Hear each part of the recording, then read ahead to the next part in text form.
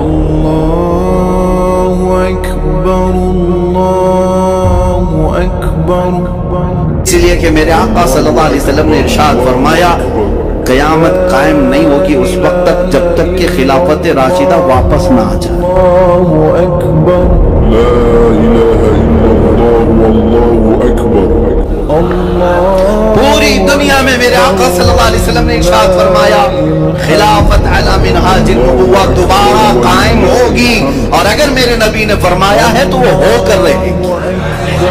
ہو کر رہے حضور اکرم صلی اللہ تعالیٰ علیہ وسلم کے اس فرمان علی شان کو جو ہم نے سنا ہے، وہ دوسرے بھی پڑھتے ہیں، جانتے ہیں کہ ان کی باتیں جھوٹ نہیں ہو سکتی، ان کی بشارتیں پوری ہوتی ہیں۔ تو پھر واپس خلافت لوٹنے والی ہے۔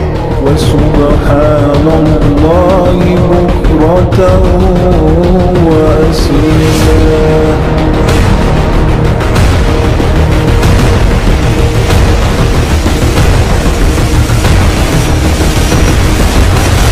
وسبحان الله بكرة وأسيلا